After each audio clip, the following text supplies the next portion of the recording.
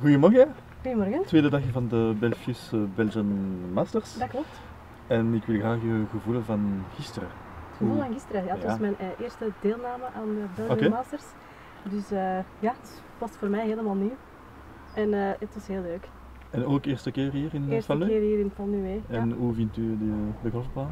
Moeilijk. Moeilijk? ik, vind Ah. ik vind het een tricky baan. Zeker de greens zijn voor mij toch moeilijk. De ene green is snel, de andere iets trager. Oké. Maar we hebben ons best gedaan. Hè. Ja, dan, dat moet ja. Ja, voilà. Inderdaad.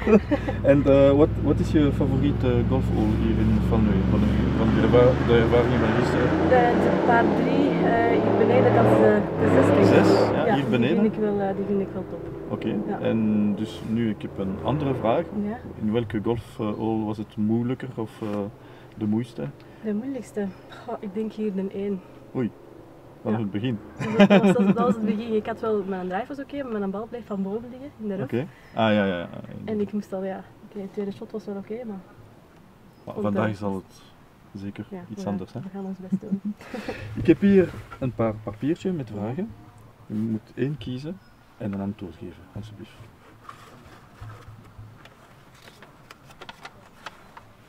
Geef ons drie woorden die jou het beste beschrijft. Ehm, ik ben heel sociaal, Oké. ehm, goed lachs en ik geef nooit op. Goed antwoord.